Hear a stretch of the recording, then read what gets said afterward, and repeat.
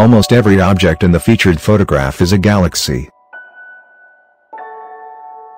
The Coma cluster of galaxies pictured here is one of the densest clusters known, it contains thousands of galaxies.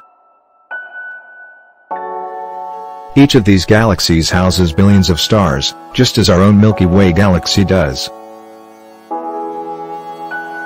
Although nearby when compared to most other clusters, light from the Coma cluster still takes hundreds of millions of years to reach us.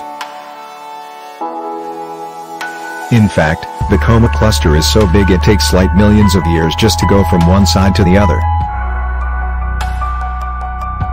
Most galaxies in Coma and other clusters are ellipticals, while most galaxies outside of clusters are spirals.